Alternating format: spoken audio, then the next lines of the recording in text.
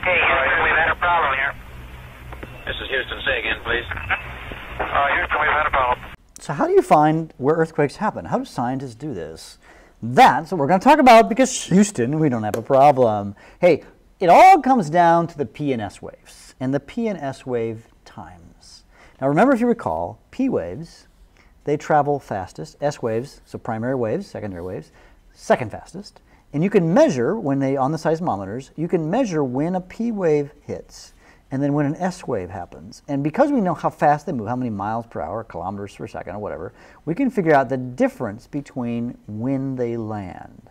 So the step one is that. And I think what's going to work best is I'm going to walk you through each of these steps. So, how do we find the epicenter of an earthquake? Well, we have to look at these S and P waves. We have a, a, a, an earthquake that happened, and it was measured at three locations at Balboa Heights, Panama, Boulder, Colorado, and Mexico City.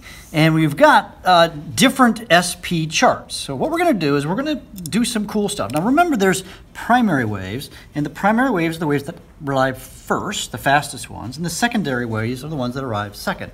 So, the first step is to determine the number of minutes, how, the distance between, or the time between the arrival of the P wave and the arrival of the S wave. Now, let me show you mathematically or sort of graphically how I'll do this. The first thing I want to do is I want to actually figure out what this sort of scale is from a centimeter. So I've got a ruler here, as you can see, and I'm going to measure, each of these, by the way, is one minute, one minute, two minute, three minute, four minute, five minute.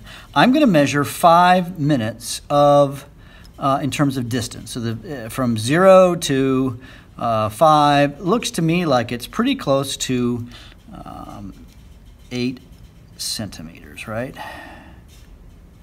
Yeah, so that's 8 centimeters. So I'm going to say this. I'm going to say 8 centimeters is equal to 5 minutes.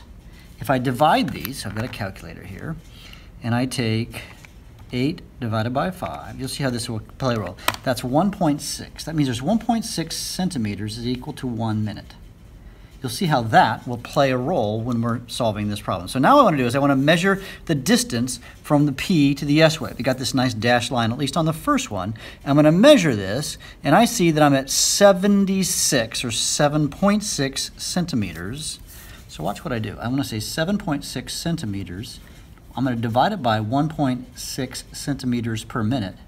The centimeters cancel, and I get minutes. So I get 7.6 divided by 1.6 gives me 4.75 minutes. Now I'm going to put that like on a table. I've got a table down here. You could actually do the arrival time, the S wave, but I'm going to put this number here as the difference between the P and S wave. This is the time. This is 4.75 minutes. I'm going to repeat that process for Boulder and for Mexico City. So when I measure Boulder, I'm gonna now I'm gonna line this up. I get my ruler thing. I'm gonna like P and S. Got it. And I'm gonna measure the distance here. Distance between here and here is four centimeters. I'm gonna divide by 1.6. Calculator, four divided by 1.6 gives me 2.5, so two and a half minutes. I'm gonna write that down here. I'm going fast. But when you do this, you're gonna you're gonna do this in class. Uh, you're gonna be fine. Do the same thing now for Mexico City, Mexico, Ciudad de Mexico. See, and S. I then find the distance between here and here, and I get looks like it's 5.5. So I say 5.5 centimeters divided by 1.6, and I've got the, the calculator. That comes out to 3.4 minutes. I'm going to put that here. Because now what I want to do is I want to find the distance to the epicenter with this time. Now there's a really cool graph thing that you're going to use, and the graph thing looks like this. And now what I'm going to do is I'm going to figure out, so let's talk about this. Here we have travel time, and here we have epicenter distance. This is in times 10 to the third, that means thousands right? So this is 1,000, 2,000, 3,000. You get the idea. And so what I'm going to do now is I'm going to take just a piece of paper. I'm going to fold a piece of paper. So I'm taking a piece of paper and folding it. All right.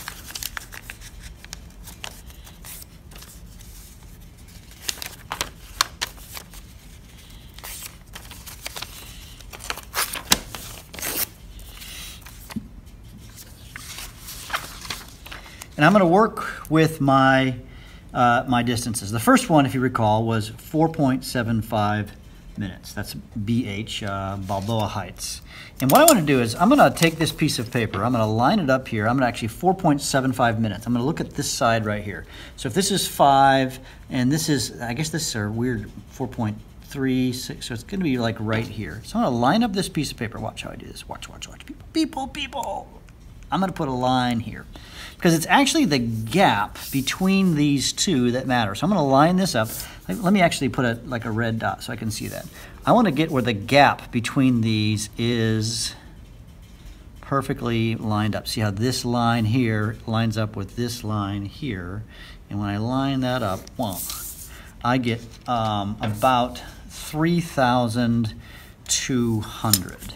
So I'm going to go back to my paper here. If you recall this paper, I'm going to write 3,200 for Balboa Heights. Next one is two and a half minutes. I'm going to repeat this same process. So for two and a half minutes, all right, line up my paper again. So two and a half is here. Line it up, line it up, boom. Now I'm gonna like find the gap, find the gap, find, all right, this is pretty good. Ooh, that's pretty good there. And this comes out to, let's see, well, let's, let's do this. So this one is about 1600. So 1600, that's going to be Boulder, Colorado. So let's write that down. So Boulder was 1600 kilometers. These are all in kilometers, right? And then we're going to do 3.4 minutes for Mexico City. So 3.4 four is like here. Line it up, line it up, people, people, people, boom. So it's this last line. So I'm gonna kind of find the gap. Oh, that's pretty good. There. So it can be a little tricky. I'm gonna call it there. And that comes out to about 2,000. Let's say that that's 2,200 kilometers. So now what we're going to do is we're actually going to now plot this on a map. So we've got these numbers. So let's let's actually here's the map, right? Here's BH, and at BH I'm going to say that this is 3,200. That's where BH is. Mexico City was 2,200, and Boulder, Colorado was 1,600. So now what I'm going to do is I've got a scale right here, right? This scale, and I'm going to do one at a time. So let's do 3,200s down here. And I'm going 3,200 is right here. Now you may take some time to really look at the scales, but I've seen this one before. I'm going to take this compass. This is actually a compass, right? I'm going to just line this up and screw the little doohickey in. Uh, boom. And now what I'm going to do is I'm going to line this up. Now, I, I've got to line this up. I've got to put it right on. I have to actually look careful. Mr. Bergmann doesn't have his reading glasses on, so he's having a hard time here. All right, now what I'm going to do is I'm going to put my pen in here, make an arc. All right, I'm going to do that three times, and where they intersect is the winner. So the next one, that was 3,200. Let's do Boulder. Boulder was 1,600, so 1,600 would be here, right? So I'm going to screw this back to 1,600 right there line this up. Again, I've got to put it off screen. Sorry about that, because I can't see close. And that's 1600. And then I'm going to do Mexico City, 2200.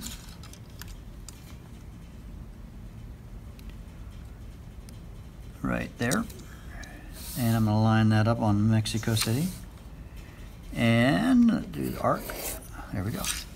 Now, do you notice where they all come together? They've all come together here. It's not quite perfect, but it's pretty close. Where's the epicenter of this earthquake? It's where all three of them come together. Or uh, maybe I, I wasn't, I did fast, and so I got my numbers off just a skosh, but we're pretty close. This is the epicenter of the earthquake. There you have it.